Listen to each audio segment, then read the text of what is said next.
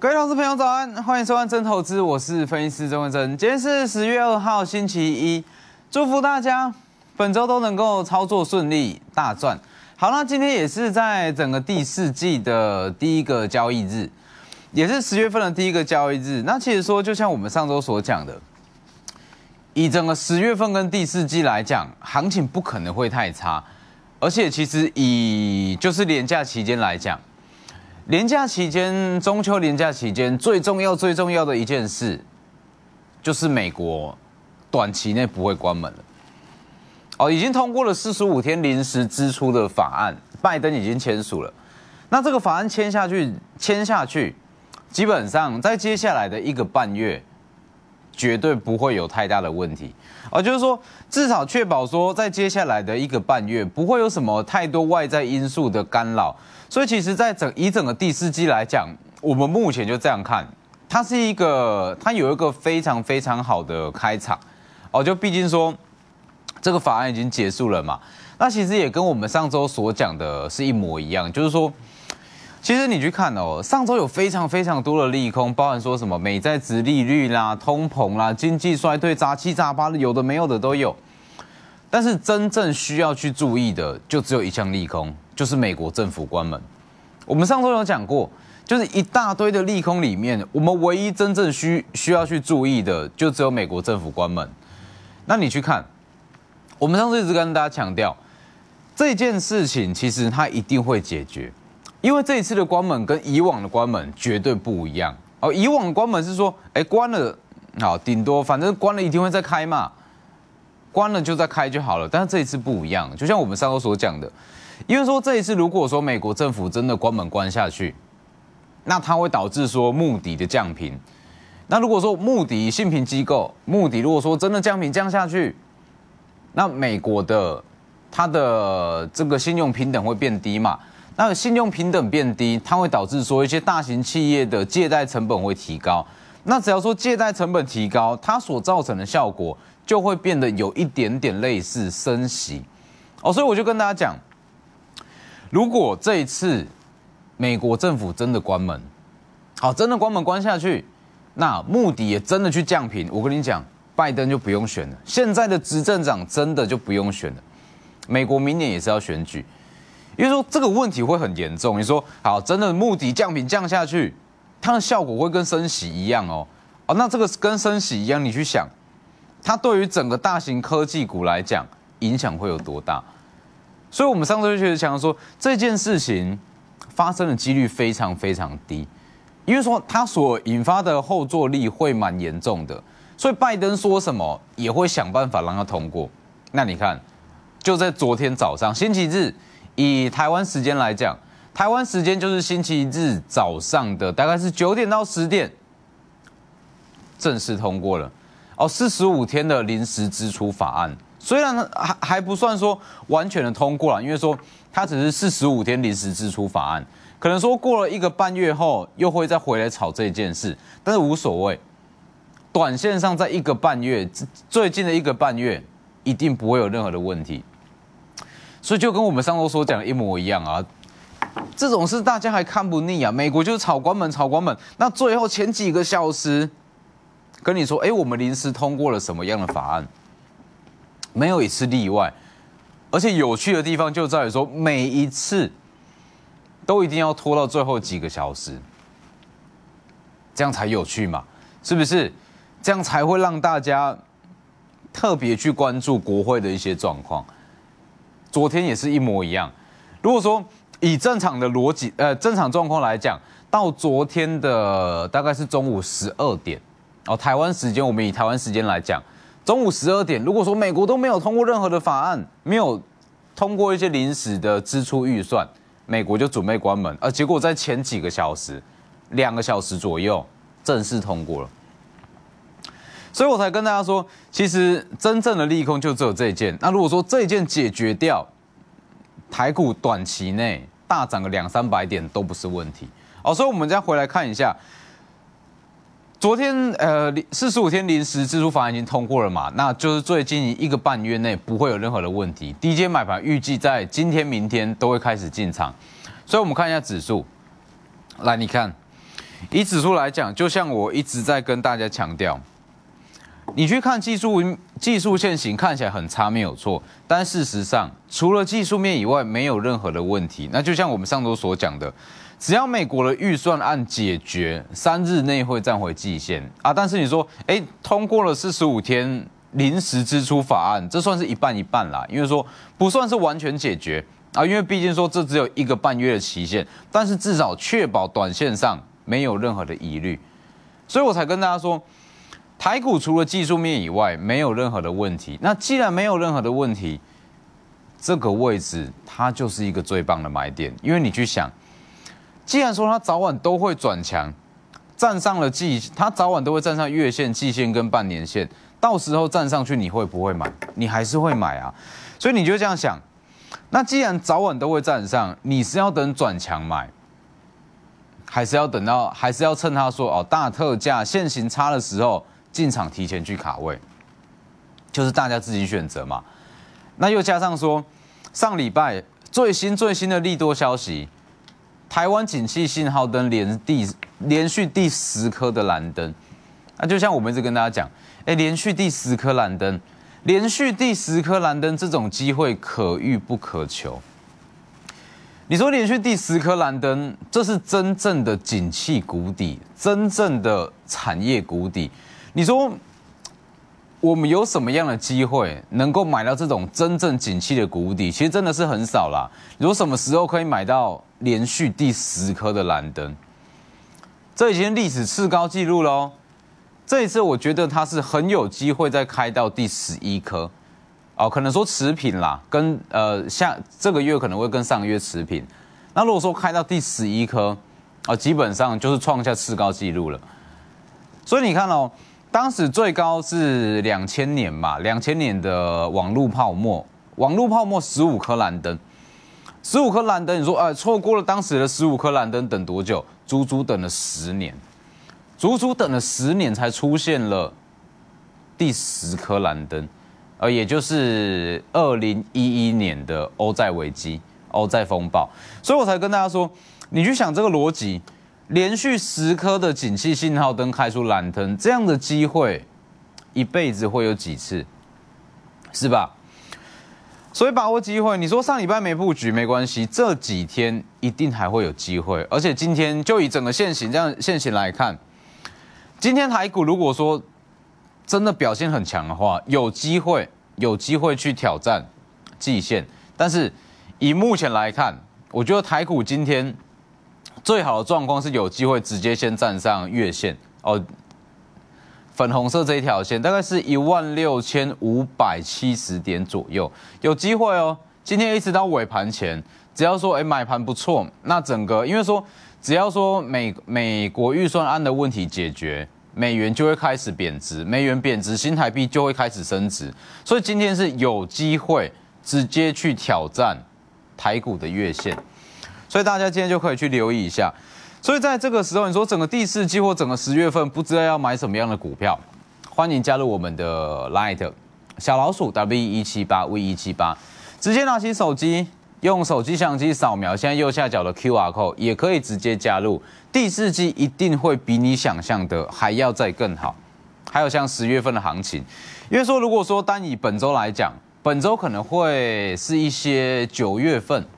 营收比较亮眼的个股开始起涨。但有呃九月份营收比较亮眼的，大概就几个区块。第一个区块就是网通哦，网通会不错。那再来就是检测，检测我们之前有讲过，因为说。检测厂它没有所谓库存的问题，所以它相对来讲营收就会开的比较快哦。包含说探针卡，那或是说一些比较传统的检测，怡特啦，或是说宏康这些都有机会。那再来就是散热，因为说散热族群它也是本来就没有什么太多库存的问题，那它没有库存的问题，营收自然开的速度就会比较快。所以如果说单以九月份的营收来讲，检测厂、网通厂，还有像散热族群，都很有机会。这些都是在本周或是说今天可以去留意的。好，那你去看哦。我一直跟大家说，其实，在这样子行情里面，我们只要针对真正便宜的好股票，基本上它早晚都是要涨。你看，我们在上礼拜上礼拜四三三二五的续品有没有？三三二五的续品跳空涨停，直接锁死，从头锁到尾，最高来到三十五点九。三三二五的续品就是我们在前一周跟大家讲要带大家买进的三六九三的银邦，银邦第二就是三三二五的续品啊，因为说银邦当时很强嘛，那银邦它主要是在吃这个水冷题材跟静默式散热题材。那银邦涨上去之后，我们之前有提过。你说银邦的营收这么的爆发，为什么？因为水冷水冷系列的产品，它的毛利率是非常的高。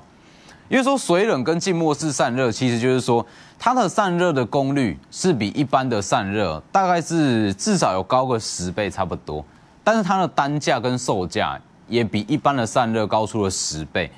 那因为说就像我们在上礼拜所讲的嘛，其实我们光是看 iPhone 十五 Pro，你就会知道。接下来先进制程的散热需求一定会很大，因为说它的功率太好，那功率太好，如果说散热跟不上，它没办法发挥，所以就会变成说，接下来的散热它的需求一定也会大幅度的提升。三三二五的续品，上礼拜是一根涨停板，就是我们上礼拜所呃前一周所讲的，这就是银邦第二，有没有？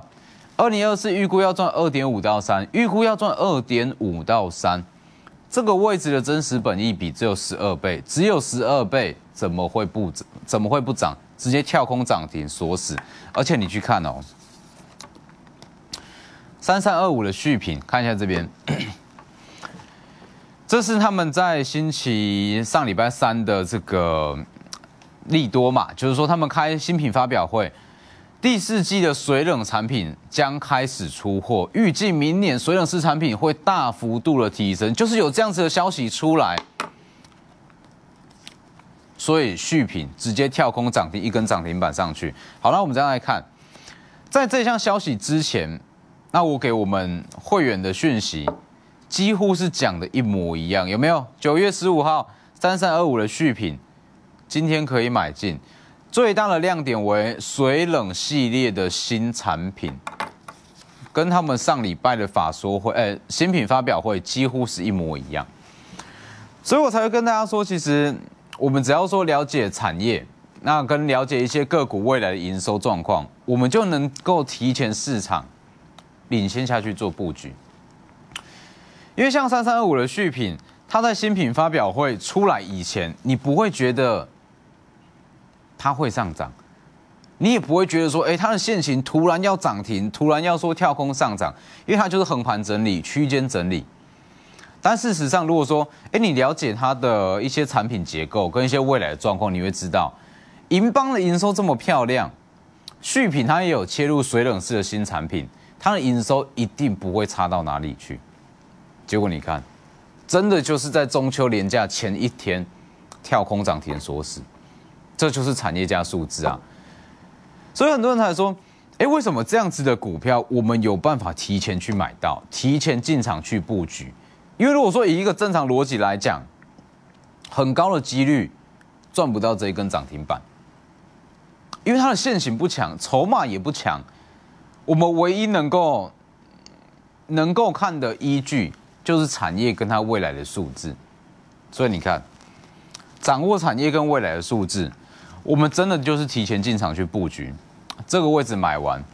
上礼拜四直接一根涨停板，通通都赚钱。那再来三零一切旗宏也是，旗宏它算是一个指标性的散热啦，就是说旗宏它在二零二四预估要赚十六到十七，预估赚十六到十七，上礼拜最高是来到三百四十四元，三百四十四元它的真实本益比只有二十倍。只有二十倍的情况下，也代表说其他的散热相关族群，只要本益比还不到二十倍，都叫做便宜的股票。包含像是广达也是，你看，我一直跟大家说，广达不用去杀低，不用去杀低，这个价位真的很便宜。上礼拜四有没有跳空上涨，直接回到了平台整理区两百四十四元，也直接越过了季线跟月线之上。所以我才跟大家说，其实在这个时间，台股除了技术面以外，没有任何的问题。那只要说技术面给他一点时间，它早晚都会转强。那真正最好的买点，反而就是在技术面最差的这个时间点。哦，所以把握机会，不知道要买什么，或是说不知道怎么去买，欢迎打电话进来。那也记得先加入我们的 Light 小老鼠 W 一七八 V 一七八。我们先休息一下。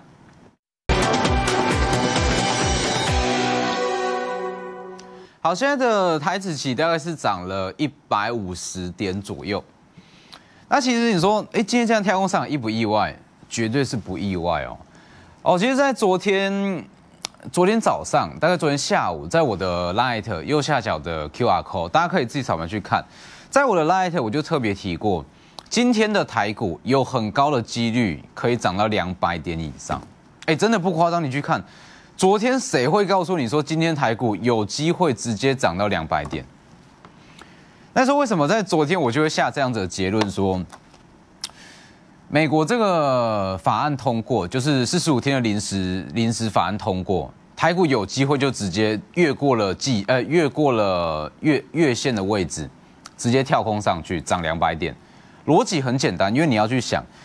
为什么在上礼拜的新台币会这么弱？上礼拜因为很多人会说新台币弱是因为外资一直在卖股票，这不是废话吗？是说为什么新台币弱？新台币弱外资才会去卖，而不是说外资去卖股票新台币才弱，是说。新台币它弱，一定有它弱的理由。那它弱的原因在哪里？我们是要去看那个，看它那个主要的逻辑。你看哦，上礼拜新台币弱，最大最大的原因还是因为美国政府要关门，大家会担心，大家会担心，所以会提前下去做避险。我这样带大家来看，你去看上礼拜的美元指数其实是非常的强。你看这个位置，美元指数是一直在创高哦。就以上礼拜来讲，一直创高，一直创高。那美元指数这么强，它一定会压抑到新台币。好，那你说美元指数为什么会这样一直涨，一直涨，一直涨？其实这个最大的原因就在于说，大家会担心，如果美国真的关门关下去，目的会去降频。就像我们上礼拜讲的嘛，很多人说，哎，这不是什么大事，这其实真的是大事。如果说你了解。其中的逻辑，你了解产业，你会知道，只要目的去降频，降下去就会出大事。所以我才跟大家说，大家担心的不是什么通膨啦，这些都不是，也不是美国关门，大家最担心的就是目的去降频。因为只要目的降频降下去，它的效果就跟升息一样。那你去想，如果接下来再升息，严不严重？一定很严重嘛。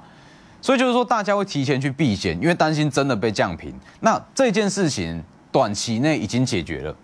就在昨天，四十五天法案已经通通过了。那通过之后，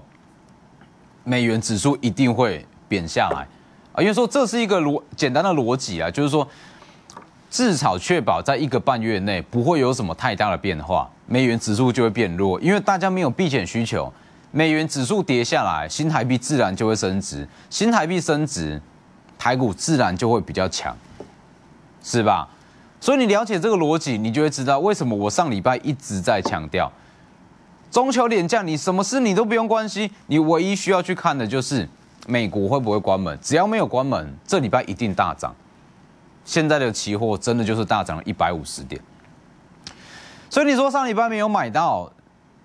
来不来得及？这礼拜绝对还来得及，行情就是刚开始而已。不知道买什么，欢迎加入我们的 Light 小老鼠 W 一七八，直接扫描 QR code 也可以加入。所以我将带大家来看哦，今天很多个股表现都会不错，像是说，你看，像如果说以上礼拜来讲，上礼拜包含像是三二三一的伟创也是，你看。伟创也是一直跟大家说，这个位置不用去杀低，这里你去杀低没什么意思。就是说，它在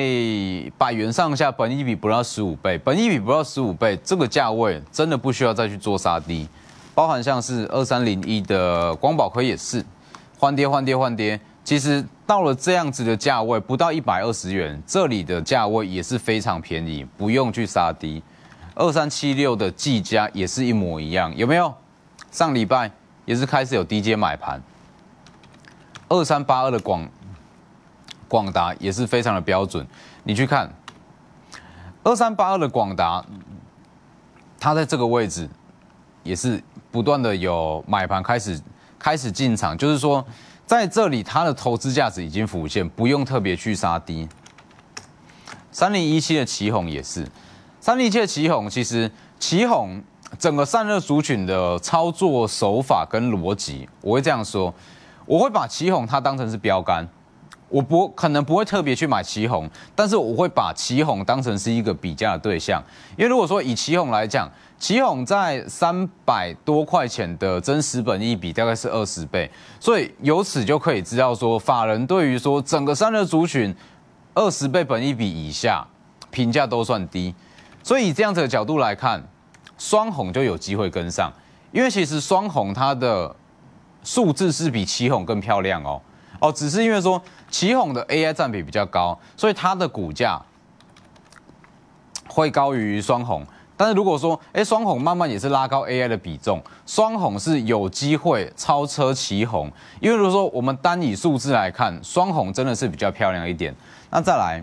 像是八二一零的秦城也是，以秦城来讲，秦城它在两百二十元上下的本益比。大概也是落在十五到十六倍，也是非常便宜。秦城也可以去做留意。二四二一的建准，建准也是一样。因为说，如果说我们都以旗宏当标准的话，建准很便宜，包含像是秦城也非常便宜。这样子的价位，它早晚都是要涨。尤其是说，如果说九月份一周开出来不错，很快就会涨上去。所以在这个礼拜。很多个股表现都会很精彩，那只是说，因为说成交量可能还是会不足啦，因为说毕竟双十连假，就本周过了五天，又是连续四天的假期，可能说成交量还是没办法有效的放大，但是它就会先从九月份营收不错的个股开始涨，哦，所以包含像网通、散热，那还有像是一些一线的 ODM 厂，广达、伟创、技嘉，这些都可以去做留意，所以你看。包含像是六七四的台药也是，台药上礼拜也是非常的强势哦，有没有？我们从九月四号开始告诉大家，台药可以下去做留意，那一直到上礼拜四，我们合计是告诉大家了三次买点哦，第一次在这里嘛，第二次是跌停板，第三次是半根跌停板。每一次都是告诉大家拉回来可以买进，拉回来可以买进，一直到上礼拜四，最高来到一百四十点五，你去看哪一次没有赚？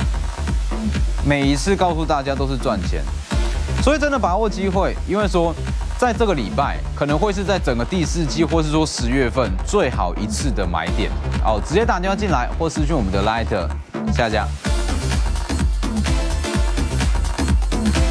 本公司与分析师所推荐分析之个别有价证券无不当之财务利益关系。本节目资料仅供参考，投资人应独立判断、审视、评估，并自负投资风险。